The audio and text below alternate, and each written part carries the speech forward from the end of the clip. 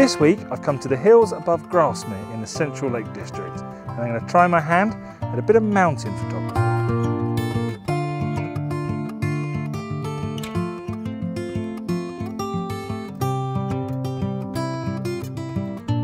So before we start, I want to answer the question, what is a mountain? Now that's actually quite difficult. I did a bit of research before I came out and did this video, and there's lots of conflicting information and I don't think anybody can really agree. So for the purposes of this video, I am defining a mountain as a natural elevation with a prominent summit that's at an altitude of greater than 2,000 feet. And if we use that definition, there are about 127 mountains inside the boundaries of the Lake District National Park.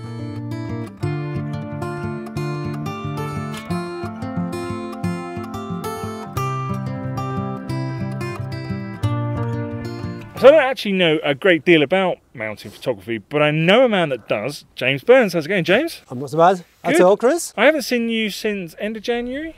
End of January, Chris, from a very cold and blustery film here. It was bitter that Oh. day. Absolutely, I get wrapped up that day. And where are we today? So today we're on Helm Crag, which Uh-huh. is in the Central Lake District, Uh huh. just above Grasmere. Uh huh. Yeah. And how high is Helm Crag?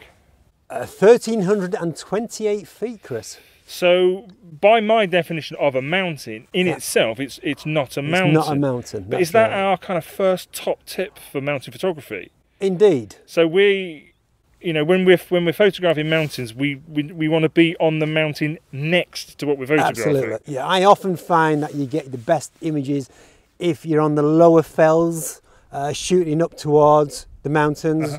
Uh, and the beauty with this lower sort of fell is it's it's easily easily in reach as well. Yep, brilliant. Uh, so that's a James Burns top tip for you. Tip number one.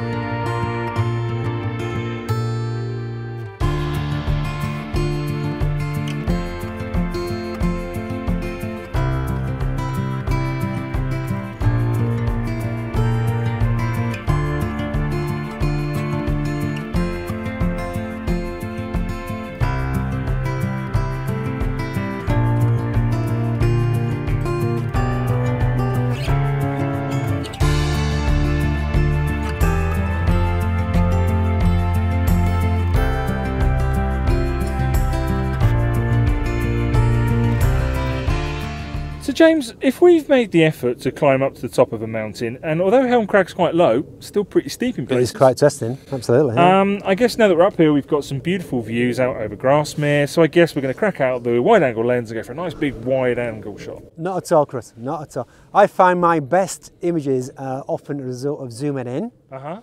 um, taking away the distractions which you commonly find as um, as a result of using a wide angle lens. Oh, okay. So go for some more intimate composition. Intimate and simplifying the composition as well, well. I do love a simple composition. You do indeed, yeah. So um, I might be all right at this. I think you should.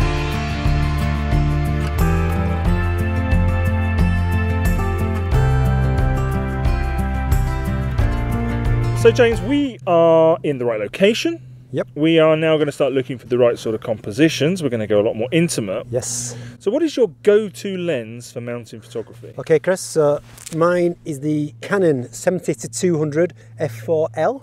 Uh huh. That's the f4, not the 2.8. Not the 2.8, uh, purely because the 2.8 has image stabilization and that weighs a lot more. And another important tip for mountain photography is to keep weight at a minimum. So earlier, when we were just climbing up, I did pick up your rucksack, and it weighs an absolute absolute ton. Yeah, Um, so yeah, trying to keep a few of your lenses a bit lighter is probably going to help. yeah. So that's the Canon 70 to 200 mm f4L. F4L indeed, yeah.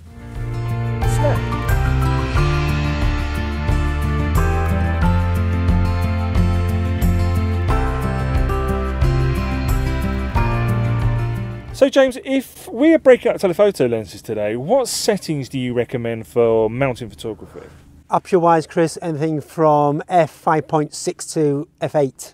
And f8 is the sweet spot for that lens, isn't it? Yes, it is to maximise sharpness. And um, those lenses are pretty sharp, aren't they? Pin sharp, Yeah, absolutely good. pin sharp, yeah. And you, do you always shoot in manual?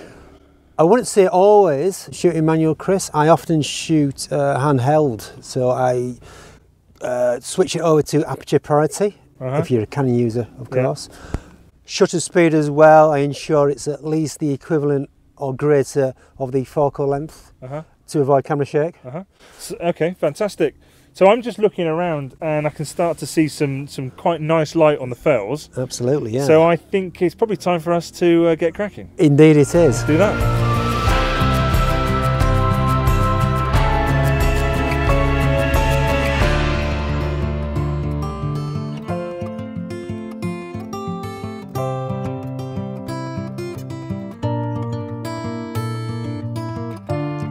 James is seeing compositions everywhere. He's, he's already taken a couple of shots, and, and I'm just not seeing what he sees.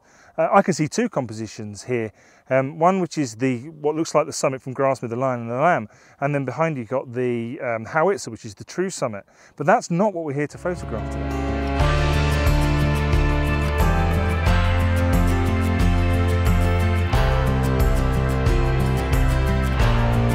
So after a bit of searching, I think I finally found a shot. I'm looking north up towards Keswick, uh, and there's a V, there's a valley, and you can see through to Blencathra. So I've just been waiting for a little bit of light to land on that scene, um, and I'm just not getting anything. There's a little bit of light in the far distance on Blencathra, but I don't think it's enough. So I think this shot might be one to come back to another day if I get home and look at the Lightroom and it looks okay. There is a little bit of light behind me, so I might give that a go, but and we might just cut my losses and head back over the other side of that ridge. So I continue to persevere with this shot. I'm not giving up. I am starting to get even more light on now. Um, and so what I've done to reflect that is I've pulled right back to 70 mil uh, to include as much of the hills on the right hand side as I possibly can.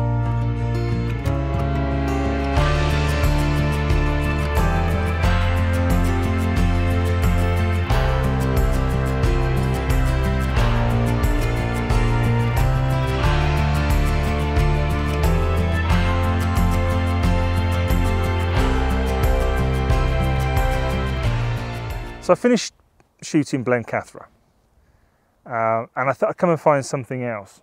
And as I did, I caught up with James, and he took, uh, he showed me a shot that he'd taken, and it's just of a tree that he's picked out in the distance, and it had some light on it, um, and a nice dark background, and it was a, it was a lovely simple shot. And I said to him, I just wouldn't have seen that shot. Um, you know, James is seeing compositions everywhere he looks, and I'm just not seeing it. Seeing it. I thought this was going to be easy. I thought I was just going to turn up, get out the big lens, and pick out a few intimate compositions, and then go home. But I could not have been more wrong, and I have a newfound respect for James and you know the quality of his photography.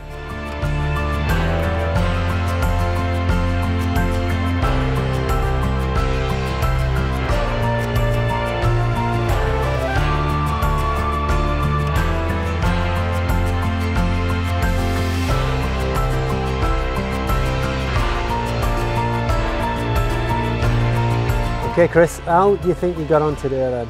I, I don't think there's any point pretending that that was anything other than a struggle for me. Okay. Um, I found it very, very difficult to find compositions.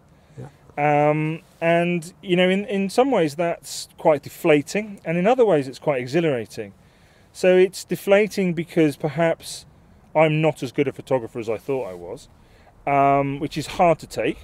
Um, but also, you know, it's exhilarating because now I have a new photographic challenge to overcome. Okay, the main part, Mhm. really important, is to enjoy it. You have to So, enjoy what you're doing. I've had an absolutely fantastic time. I mean, I've loved it. And this place is amazing. it is up here. awesome, absolutely Uh, awesome. Helm Crag is beautiful. I mean, I've been up here loads of times, but I've never really looked. yeah, the light is beautiful it. as well.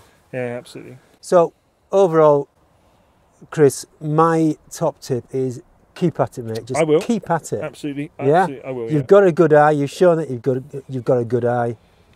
Yeah. Carry on doing what you're doing. We'll do. So we're gonna we're gonna go now. That's it We're gonna us. head off. But before we do go, there is one thing that we want to do, isn't there? There is indeed. Yep. Uh, when we started talking about this video and Yep. doing this video, um, we both agreed that we wanted to give a shout out for a certain vlogger. For a certain vlogger.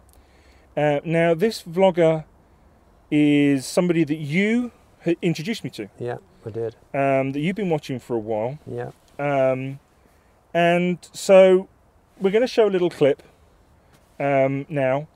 Um, and this is a clip of a photographer on top of a mountain photographing an amazing sunrise with a cloud inversion. Um, and so, without further ado, James, I'm going to allow you to introduce him. So, tell everybody who he is. Okay, so this vlogger is one of my favourites, and I introduced to Chris, and his name is Oddbjørn Austevik. Excuse me, Oddbjørn, if I got that wrong, but you are brilliant. And here we go. When I was down by the car and I couldn't see a thing, I was completely in the fog. I didn't know the way up here, but I remained optimistic and I gave it a go and I made it to the top. And what awaited me was above anything I had pre-visioned in my head. I love the fog just laying over the land with a beautiful sunrise behind me. This is fantastic. I'm gonna enjoy a cup of coffee now and have my breakfast or my second breakfast.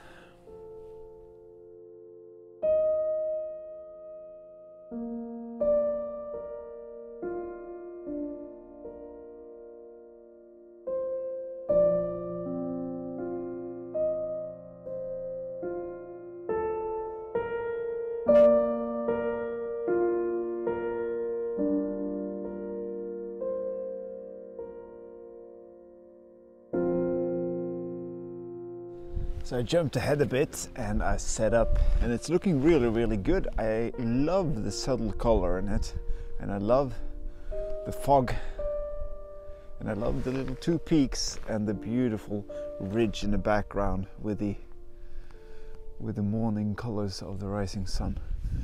So once again I'm at f11 but given amount of light now, I'm able to bump it up to 160th of a second. ISO 200 and I'm using a shutter delay of 4 seconds. But this looks beautiful.